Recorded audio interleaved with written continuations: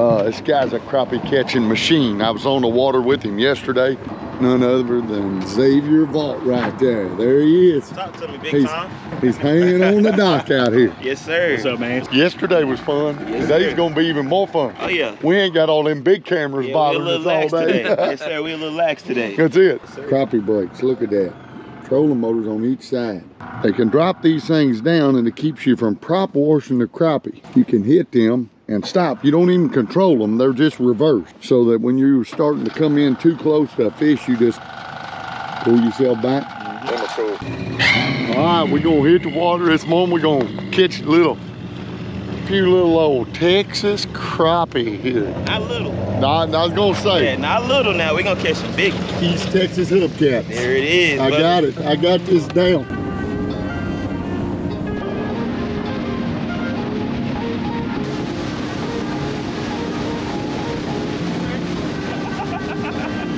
Alrighty guys, this is Xavier checking in.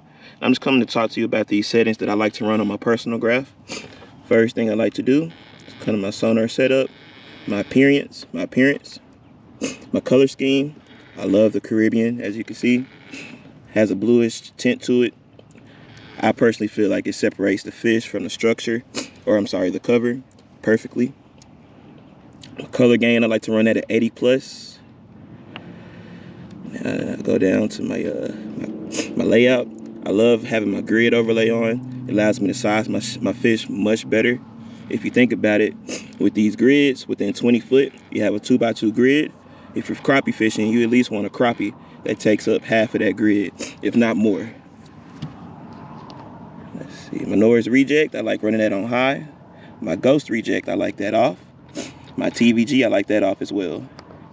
And with those settings, as you can see, you have a great picture within 20 foot. And we can go all the way out to 80 foot and still have an even better picture.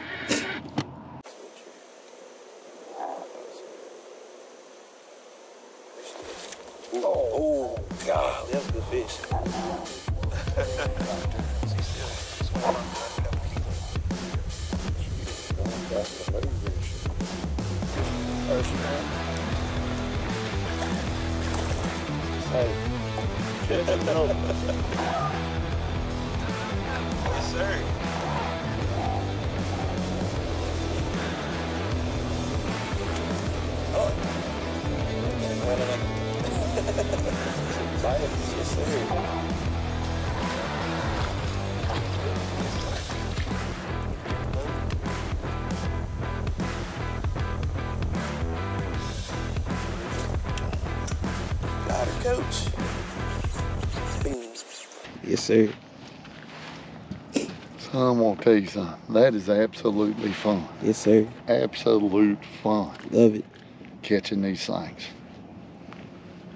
Beauties. Absolute beauties. hey, got the live scope settings right. and When you dial it in, Crappie coming to boat. but it's time on the water. Come on now. That's you know, it. That, that's the thing, you know.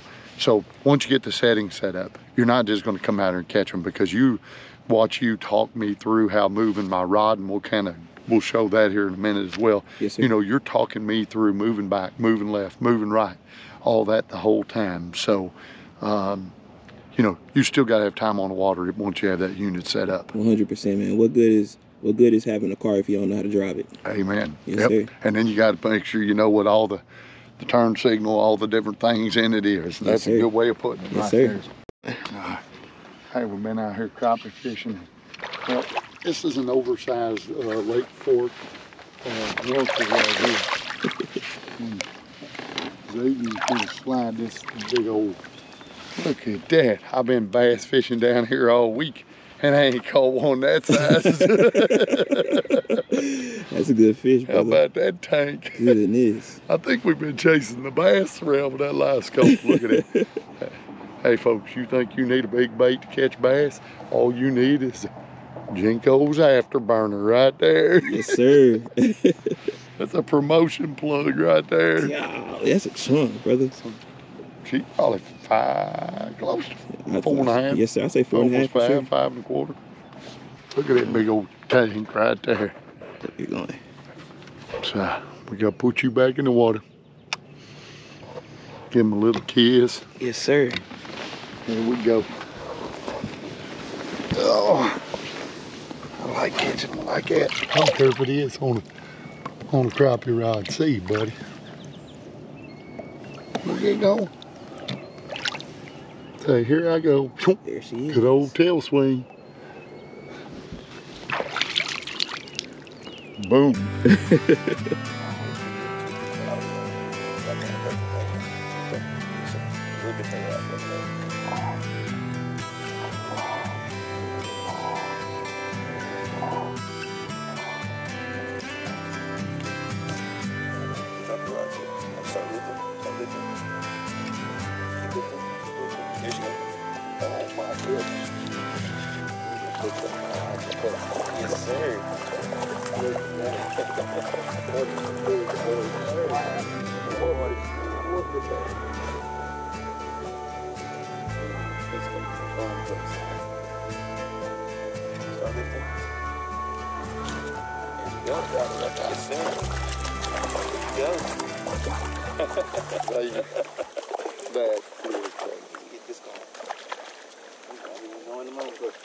crappie flopping right out there.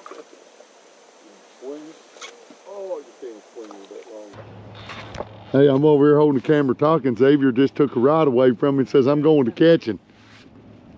Look here, he's dropping down on it. Right there.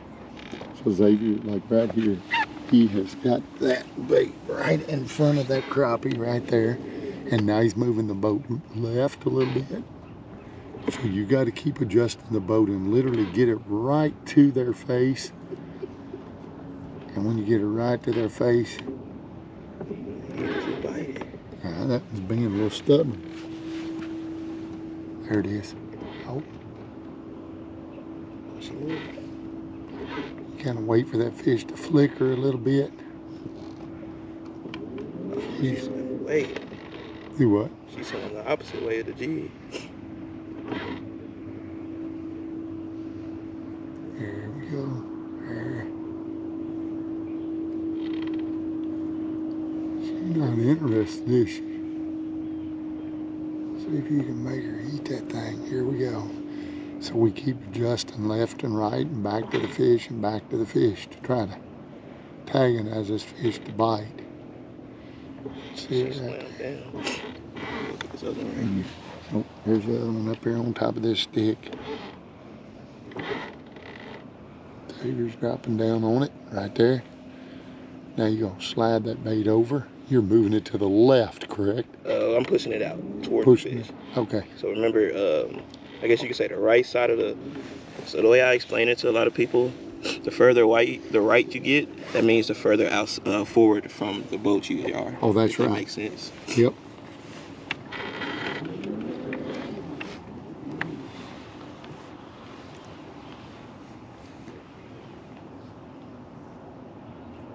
Here comes this jig swinging over the fish. See Or like I it said, I sees used to pitch it on them a couple times. If they don't bite it on the swing, that's when I just drop it on their head. Look at that, she even. She said, "I'm out of here." Yep, She's not interested in eating that, is she? I'm gonna make her eat it. Watch.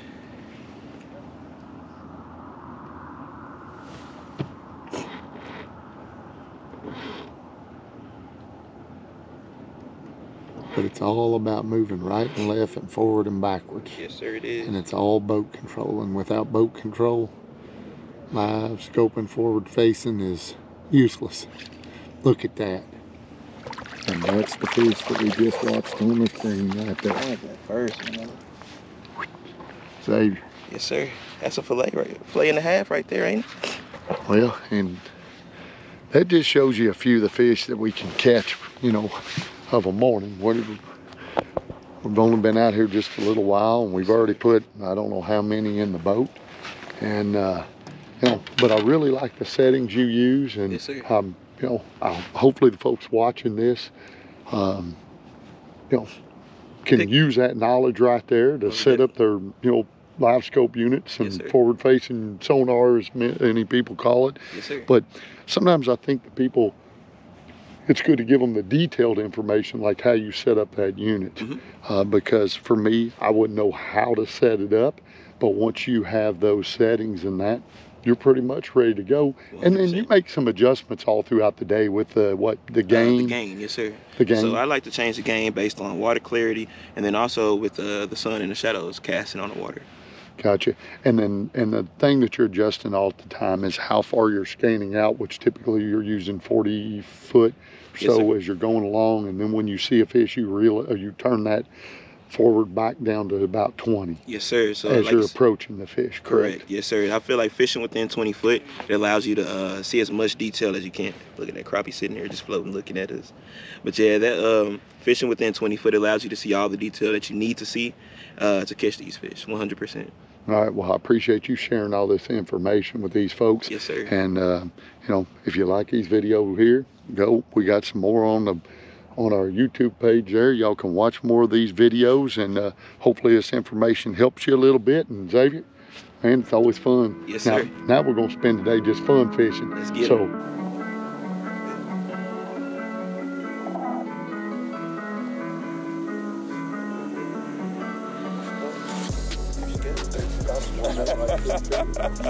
Yes, sir. You did.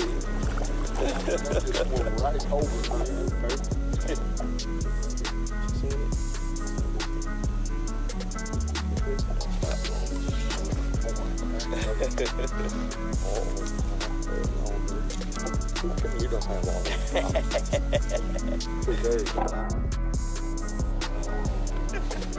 all Yes, sir.